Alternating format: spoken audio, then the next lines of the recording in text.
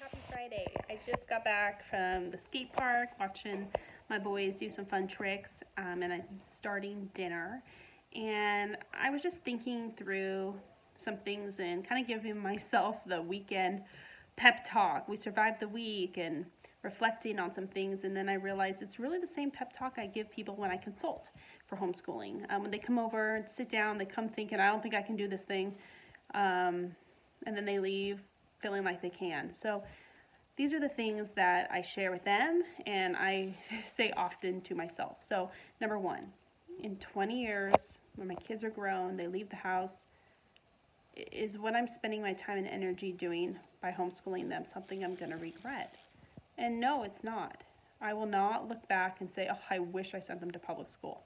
Nope, not gonna not gonna be the thought I have, um, especially in this time where they're wearing masks all day and there's indoctrination and crazy bully stuff happening and all the other things. So, with that in mind, I remind myself that there's hard things in every situation. So if I sent my kids to school, there would be a lot of hard things we'd have to work through and overcome, whether it would be um, what they were learning or how people treated them. I have lots of friends whose kids go to school and, and I hear the struggles. So their struggles in every situation. And how I see homeschooling is, all right, there's going to be struggles and there's going to be hard things. And I'm going to try to work through those and grow and improve and get better and say I'm sorry. And um, each day is a new day.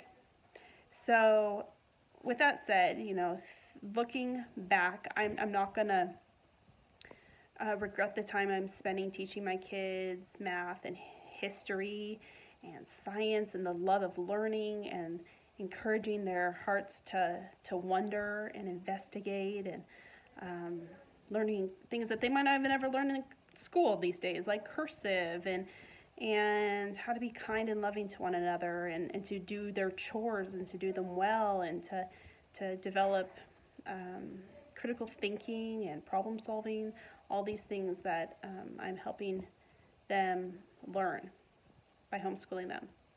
Um, so that's one thing I want you to think about. If you're sitting here thinking, man, I'm not happy with the situation, but I don't think I could do anything differently. Um, it's a choice.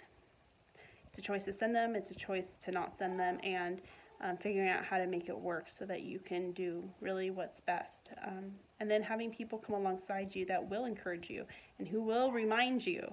Um, there's been so many days I have looked up over the past, you know, eight years what the school ratings are for schools nearby. The one, the neighborhood school my kids would go to is a two. It's a two out of 10, I guess. I don't know what that means, but it doesn't seem very good.